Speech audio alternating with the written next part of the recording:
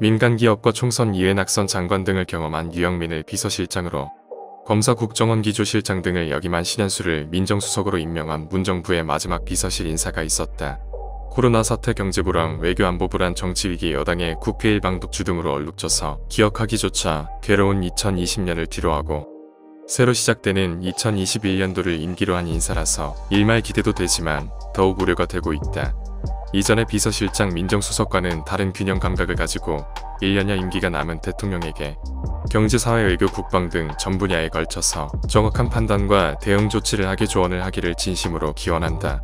대통령 임기를 마지막으로 같이 하는 순장조의 역할만을 국민들이 기대하지는 않을 것이다.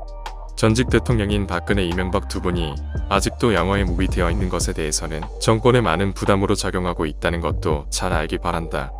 특히 박근혜 전 대통령은 이제 수감된 지 3년이 훨씬 지나고 4년 가까이 되었는데도 아직 계속해서 수감되어 있다. 위기 앞에 놓인 대한민국의 심기일전 대동단계를 위해 문 대통령이 빠른 시일 내에 결심을 해주기를 강력히 희망한다.